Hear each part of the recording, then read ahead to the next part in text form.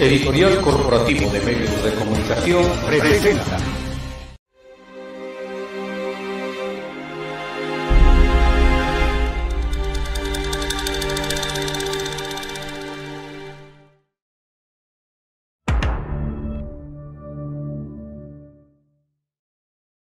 AIR es mundial.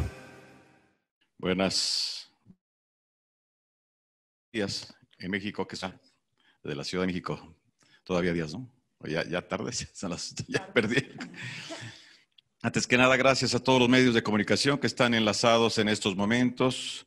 Los que están entrando también, pues es un honor estar con ustedes, compartirles eh, algo pues, eh, de información acerca de los, mis actividades actuales y algo muy importante que queremos resaltar, pues es un concierto, un streaming que estamos haciendo, un concierto a puerta cerrada, dedicada a todo el público en esta situación que estamos viviendo y a la cual hemos titulado Bohemia en pandemia, algo diferente y pues aquí estoy a la orden de todos ustedes. Un abrazo a toda la prensa mexicana también, a toda la prensa de provincia, de Guadalajara, de Monterrey, de Sonora, eh, de todos lados de la República Mexicana, de allá de nuestro querido Mérida también, que queremos mucho. Este, bueno, de Michoacán, la voz de Michoacán, mi estado. Y a toda la prensa mundial que está conectada en estos momentos, un fuerte abrazo y gracias por esta oportunidad. Muchas gracias, señor. Empecemos preguntas. En estos 45 años, con los diferentes cambios que ha tenido la industria musical en su evolución, ¿cuál ha sido el principal reto al que se ha enfrentado para seguir conectando con las diferentes generaciones? Muy importante. Bueno, los retos son actuales. En la actualidad, las plataformas de lanzamiento de los nuevos proyectos, pues ha cambiado.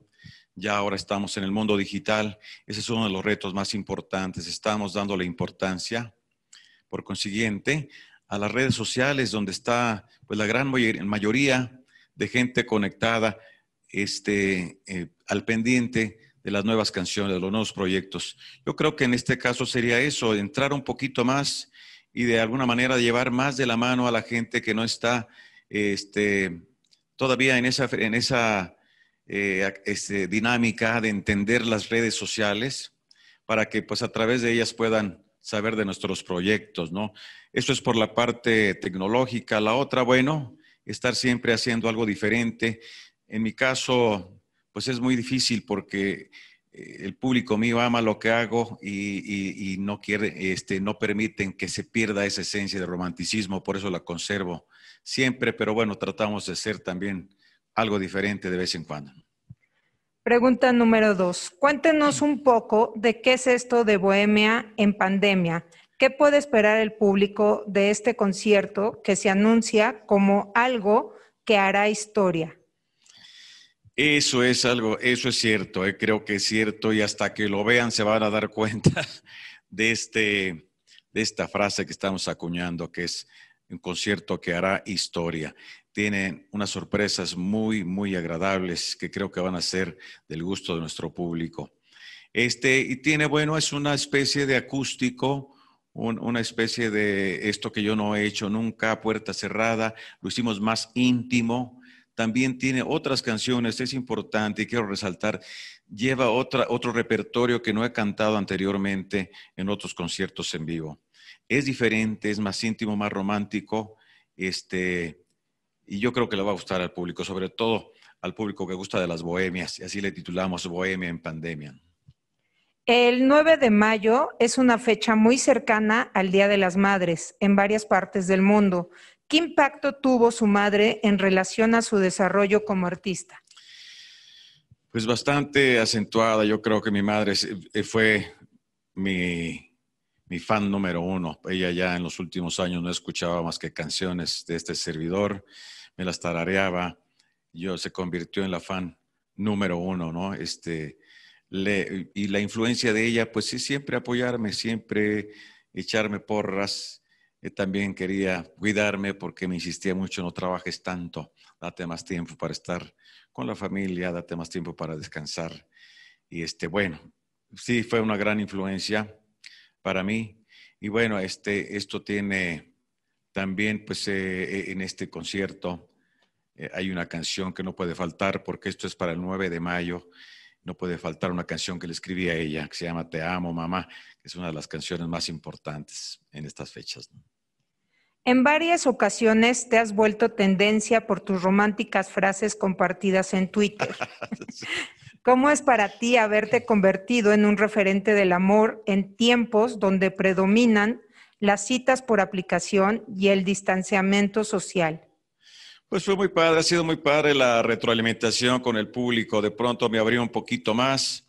Este, y ha sido muy bonito. O sea, la respuesta del público no la esperaba tanto así. Y bueno, eso me animó a seguir abriendo un poco más, a explorar más reflexiones que yo le llamo, ¿no? De pronto son, pues, eh, mensajes que llegan a determinado momento a un estado de ánimo que la gente necesita o, gran parte del, de los tuiteros necesitan y les cae muy bien, ¿no? Son meras reflexiones. Yo a veces escribo estas frases, las anoto y de vez en cuando las voy, las voy lanzando, ¿no? Pero son meras reflexiones. Yo agradezco mucho eso, pues esa respuesta del público y vamos a seguirlo haciendo. Es una forma también de mantenernos en contacto. Eh, señor, ya este concierto previo al Día de las Madres, ya nos comentó la canción favorita para su oh. mamá. ¿Existe alguna otra canción para el resto de las mamás en este festejo?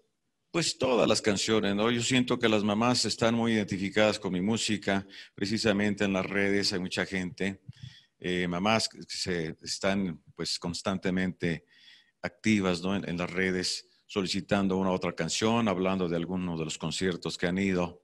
Y hay muchos temas que les gustan, ¿no? Yo creo que ahí van a encontrar muchas canciones con las que se identifican, aparte también de la emblemática Te amo mamá, pues van a encontrar canciones que se identifican. Después de 45 años de una increíble y exitosa trayectoria, ¿qué le falta a Marco Antonio Solís por hacer? Mucho, ¿no? Yo creo que, híjole, eh, de pronto tenemos tantas ideas yo quiero hacer muchas cosas. Estoy grabando nuevas canciones, aproveché en estas pausas para escribir nuevas canciones, grabar algunas otras, pero creo que tenemos que seguir adelante. Yo creo que uno de, los retos también hablando de esto es llegar al, público joven, a llevarle mi música en, algunas otras eh, géneros, en otras vestiduras y otros uniformes más actuales musicalmente hablando. Porque mucha gente también me lo ha pedido eh, y yo creo que es importante hacer eso. Eso lo tengo pues eh, a corto plazo realmente. Hoy, ahora ya hay eh, formas de este, transformar un poco la música para que llegue de una manera más fresca a los oídos jóvenes. ¿no? Y bueno, y seguir grabando, seguir escribiendo. He estado afortunadamente muy activo en la parte inspiracional y también pues grabando cosas nuevas que ya les dejaré saber.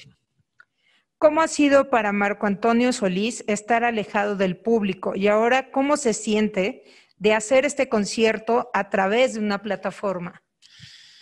Pues ese es como volver a empezar, ¿no? Después de tantas eh, reflexiones que uno tiene en su casa, desde donde, estamos eh, refugiados, esperando, eh, pues hay que crecer muchas ilusiones que estamos poco a poco realizando, ¿no? Dentro de ellas, pues el estar con el público que me ha pedido, vamos a hacer este, este concierto íntimo, ¿no? Y lo pudimos hacer. Eh, pues es una cercanía, es un momento de volver a activarnos de alguna manera a través de la música. Y bueno, yo espero que ya en un tiempo no muy lejano empecemos a hacer acto de presencia ya en los conciertos con sus respectivas medidas, ¿no? ¿Qué expectativa tiene al realizar este concierto?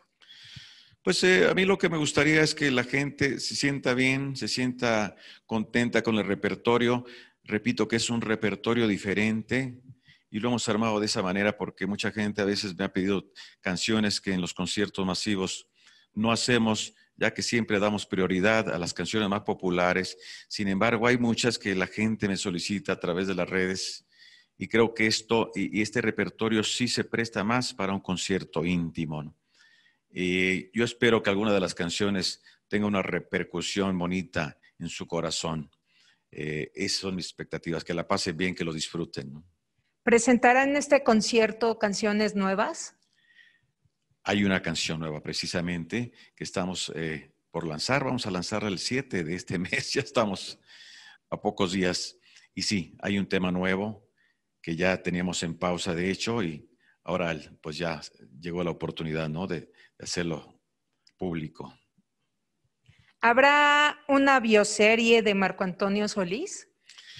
Híjole, estas, esto ha pasado también durante la pandemia, muchas eh, peticiones de esta índole, y pues yo creo que cada vez nos acercamos más, ¿no? A esto que es importante. Aparte, pues decirlo de mi propia voz, eh, con todo como es, sería algo padrísimo. Yo creo que ese es uno de mis requerimientos y por los, cual, por los cuales me detuve anteriormente, pero ahora me están dando como esa oportunidad de ser yo pues el, narrador de esta historia, ¿no? Entonces, vamos cercanos a eso. ¿Qué te ha dado y qué te ha quitado esta carrera? Híjole, yo creo que hay un balance, ¿no? Lo que me ha dado por, por muchos lados, me ha dado lo que me ha quitado, ¿no? Nos quita privacidad, nos quita tiempo en casa, nos quita, pues, eh, horas de sueño, muchas cosas, pero también nos, nos,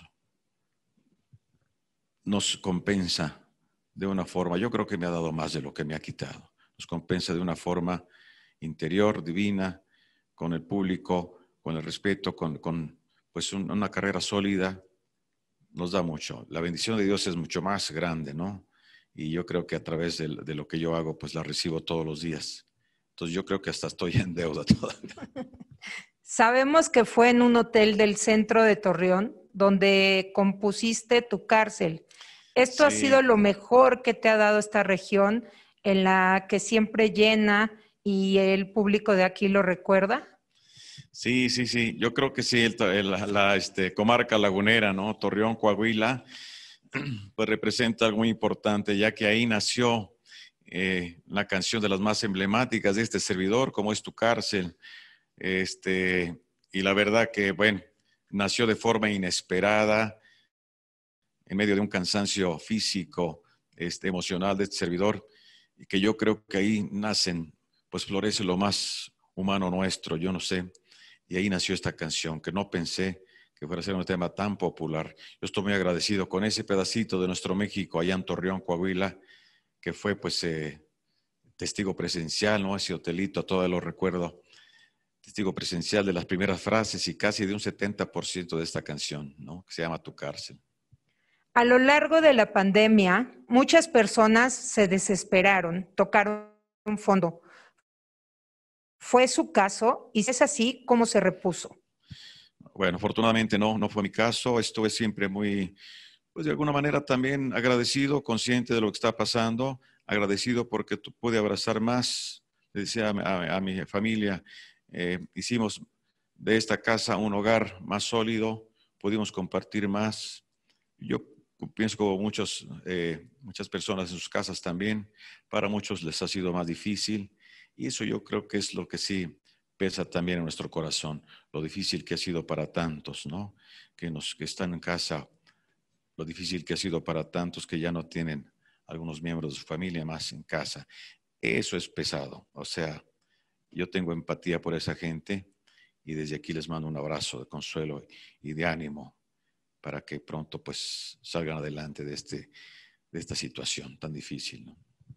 ¿Cuánto tiempo pasó desde su último lanzamiento se veía venir y por qué? Desde el último lanzamiento que hicimos, me parece que fue, ay, creo que una canción se llama Estaré contigo. Estamos hablando aproximadamente de unos tres años, yo creo más o menos unos tres años. Y bueno, eh, eh, de pronto pues vino también la situación del, del 2020 que hablamos y retrasamos. Yo iba a salir precisamente en febrero del 2020 y nos tardamos más de un año, ¿no? Para regresar a este. Así que prácticamente a tres años del último que hicimos, esta, llegó este, de, se veía venir, ¿no? ¿En algún momento Marco Antonio Solís ha pensado en el retiro? Sí, sí, a veces cuando estoy muy cansado siempre pienso retirarme. Cuando llego de giras, eh, muy pesadas. Por ejemplo, vamos a Sudamérica, son muchas horas de viaje. Los conciertos también allá a veces son los miércoles, viernes, no son como, como en México, Estados Unidos, que son los viernes, sábados, sino eh, entre semana también. Y sí, el cansancio nos hace pensar diferente, ¿no? pero luego el descanso también nos hace, este, nos llena de ánimo, de energías otra vez. Yo soy de las personas que no sé decidir cuando estoy cansado. Yo no me pregunte nada, a todos les voy a decir que no. Alguna vez, eh, en alguna de nuestras giras allá con Chayanne, terminamos cansados y estábamos con Mark Anthony y Chayanne en una gira y, y, y, íbamos caminando en el pasillo después de terminar. Dice, ahora sí, dice Chayanne, no estoy ni para mí.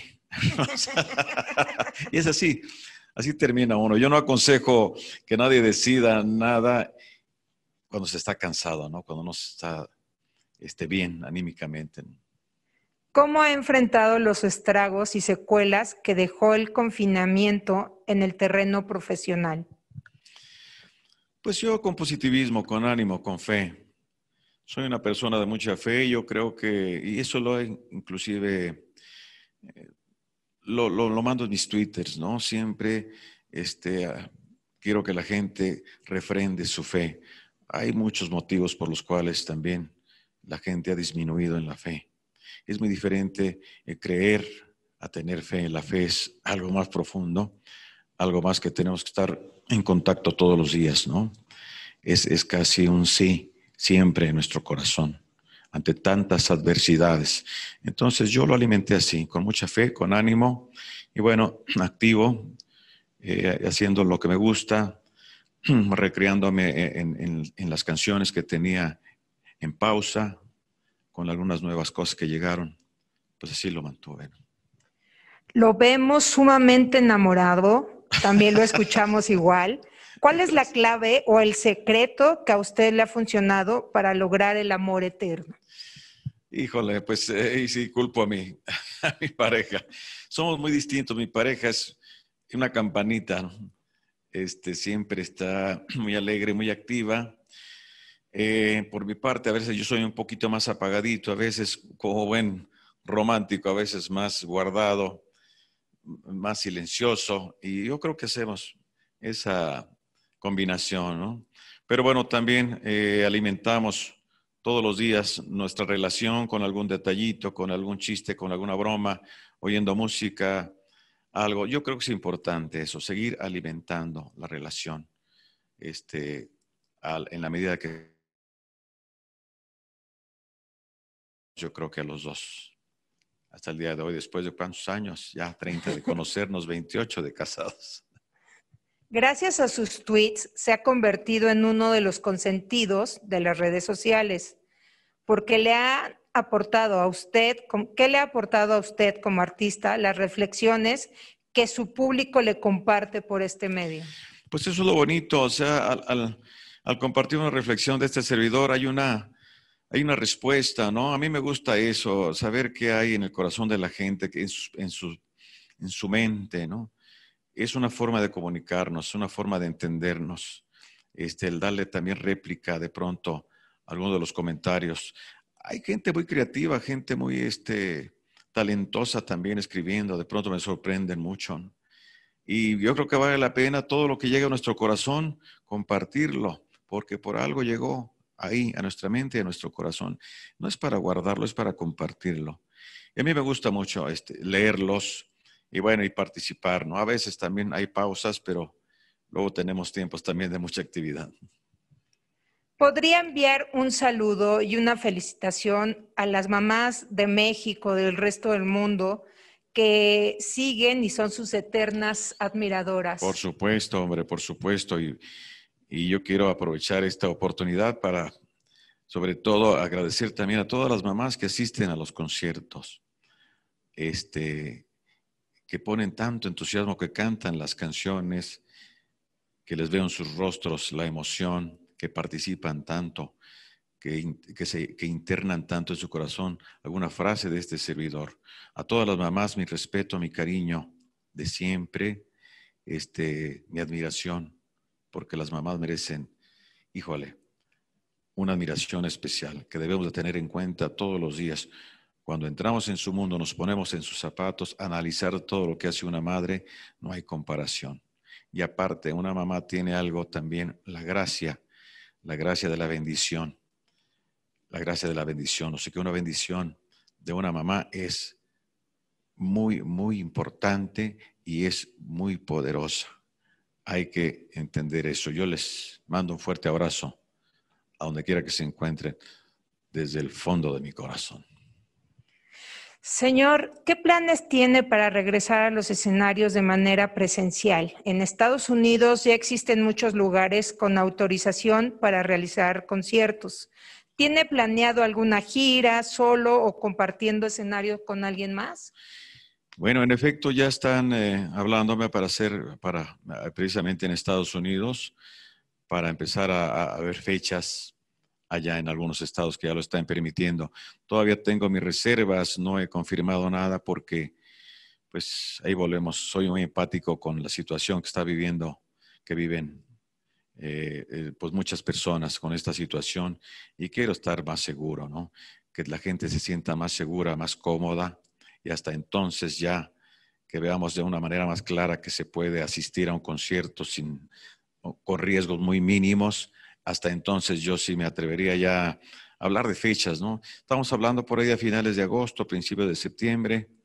Vamos a ver cómo transcurre todo esto, porque tampoco sabemos cómo va a estar para aquel tiempo, ¿no? Los rebrotes, todas estas cosas que hay, pues no están en nuestras manos. Confío una vez más abiertamente en que esto, esto tomará un curso favorable. Este, vamos a poner nuestra fe para que así sea. ¿no? ¿Qué canción no puede faltar en este show de Bohemia en pandemia? Una que no puede faltar es si no te hubiera sido, ¿no? Ese himno, himno este, tan importante, o sea, esa canción que me apoyaron tanto y siguen apoyándola, que sigue siendo fresca a la hora de interpretarla. Este, la gente se conecta, la tararea conmigo, la hacen suya, ¿no? Esa no puede faltar, por ejemplo. ¿Cómo ha sido la preparación, tanto logística como musical, para llevar este show vía streaming? Eso fue buena pregunta porque eso fue difícil. Eh, nos tardamos precisamente por pues todas las medidas que se necesitan para hacer una cosa y, también como esa puerta cerrada, pues hicieron exámenes todas las personas ahí el mismo día que llegaron, primero unos días antes, después el mismo día. Yo creo que hubo como unas tres, exámenes durante esta filmación del concierto, para estarnos cuidando. Y bueno, el llegar también, los vuelos, la logística fue un poco difícil, pero finalmente la voluntad fue más grande y creo que logramos un resultado muy, muy positivo. ¿no? ¿De qué manera alterna su carrera musical con su faceta de empresario hotelero? pues esto es nuevo, ¿no? Yo, nada que ver una cosa con la otra. La verdad, esto fue, híjole, circunstancial, yo creo, porque se me dio de pronto eh, al lado de casa comprar un, en, Morelia, Michoacán, comprar un terreno y inicié un proyecto ahí que creció más de lo que pensé. Y bueno, eh, lo fuimos acariciando con mucho amor, le dimos este pues todo nuestro esfuerzo, mucho dinero también y mucho de todo. Y finalmente se llegó a eso, ¿no? Yo me siento muy agradecido porque mis paisanos pues lo han recibido con mucho cariño. Este recinto creo que quedó muy bonito. Y bueno, ahí también en el hotel pues hay este, algo, este, de, mi música, de mi trayectoria, algunos uniformes, algunos discos, algunos premios. Todo lleva un sello ¿no? Con la personalidad de este servidor, una fuente con la clave de sol y música de, este servidor. Así que pues tiene el sello, ¿no? Yo estoy muy agradecido. También muy difícil salir en, pandemia. Nos cerraron este, y una, cuesta arriba muy, muy difícil, pero ahí vamos, con la gracia de Dios, con el, apoyo de pues toda la gente que ha visitado el lugar, pues me siento muy, muy contento, ¿no? Y vamos para adelante. ¿Cómo ha sido organizar en esta situación de pandemia un concierto? Pues eso es difícil, es lo que hablaba es difícil, este, por la logística, por los, eh, toda la gente que tiene que llegar, que se tiene que cuidar, los equipos también para conseguirlos, algunos lugares cerrados. No se tenían todos los elementos. Eh, bueno, todo eso, todo eso que, es eh, en la logística pues común, a veces más fácil, pero ya en estos tiempos de adversidad nos cuesta más, ¿no? Pues, pero, ahí, pero yo creo que da un resultado muy bueno. ¿Qué es para una celebridad como Marco Antonio Solís salir adelante en esta pandemia? Pues con fe, haciendo lo que hacemos desde donde podemos, con todo el amor, eso sí, con todo el amor que es la clave para que todo tenga pues eh, un sentido en la vida, independientemente del éxito que pueda tener públicamente, el, éxito primero que está en nuestro corazón, el lograr algo bonito que nos hizo felices al momento de hacerlo, de construirlo, y ya, desde ahí ya es un éxito, ¿no? Eso yo creo que es eh, lo más importante. Para usted, en la situación que vivimos, ¿qué es lo mejor que se veía venir y qué es lo peor que se veía venir? lo mejor que se veía venir, pues era los conciertos, tenía una gira yo planificada precisamente en el 2020, donde iba a ir a algunos lugares de Europa. Tenía, ya teníamos planes para ir a eh, Milán, íbamos a ir a Tenerife, íbamos a ir a Madrid, este, Suiza inclusive, íbamos, teníamos como ocho fechas para ir a Europa. Después de, pensarlo tanto y no se nos dio. Eso fue lo que, lo que se veía venir y no, y no llegó que no lo descartamos que prontamente, ¿no? En Europa, pues hay una comunidad muy grande latinoamericana. Yo decía, ¿qué voy a hacer, por ejemplo, a París? Y ya estoy enterado, pues, que hay una gran comunidad de gente latinoamericana residiendo allá. Y bueno, este, eso es eh, lo que se veía venir, lo, lo, lo que no se veía venir, pues ya lo sabemos, ¿no? Toda esta situación de la pandemia inesperada que nos dio a todos por un lado, por otro. Y bueno, algunos hizo reflexionar de una forma que pues jamás imaginamos, ¿no? En mi caso, yo también este, elegí mis prioridades, también cambió mi forma de pensar. Yo pienso que hasta cierto punto, pues era necesario un, freno. Qué pena por todas las personas que pasaron, como lo decía, por situaciones pues difíciles con sus miembros de la familia, con sus parientes. Pero por otro lado también pues sabemos la reconstrucción de la naturaleza también, que fue muy bueno. Y sobre todo la conciencia. Este, yo creo que muchos estamos en esa frecuencia de reconstruir, de perdonarnos, de sanarnos, de curarnos. Primero nosotros interiormente y después pues ir con nuestros seres queridos también, ¿no? A expresar que eso llegue pues a muchos, a muchos, ¿no? En estos tiempos. Señor, para finalizar, el periodismo a nivel mundial ha sido una fuente que no ha dejado de trabajar. Hoy se encuentran más de 200 o 300 periodistas conectados con su conferencia de prensa. Me gustaría pedirle unas palabras este, a todas estas personas que no han parado de trabajar y que han apoyado toda su carrera en todas partes del mundo. No, pues un abrazo grande a todos, a todos los periodistas de Ecuador, de Colombia, de Chile, de Argentina, esos países que visitamos, Bolivia, Perú, Centroamérica. Lo habla de su labor, pues informándonos siempre, ¿no? Acá en México, como decía, pues todo no han parado siempre de, de estar haciendo pues lo que aman, lo que les corresponde, estar haciendo su misión en los Estados Unidos, en el Caribe también. Muchas gracias por su apoyo, gracias por su cariño, gracias por informarnos, gracias por no abandonar lo que aman hacer, a pesar de tantas y tantas adversidades que tiene el periodismo, lamentablemente. Pero bueno, el amor no lo pueden arrancar así, tan, tan fácil. Les mando muchos abrazos y mucho agradecimiento por todo su apoyo. Para finalizar, ¿puede decir la fecha por qué plataforma estará el concierto, horario, todo. Esto es para el 9, 9 de mayo por Cinépolis Click, 9 de mayo, 8 de la noche. ¿Sí? 8 de la noche. Eh, los esperamos. Muchas gracias por este espacio. Gracias, señor. Gracias. Hasta luego, medios de comunicación. Muchas gracias. A ir con Brex. Dallas, Texas 2021. Estamos listos. Primer Congreso Mundial de Radio Online. Tienes que estar ahí. Tienes que estar ahí. Organiza Alianza Internacional de Radio. SEDAIR es mundial.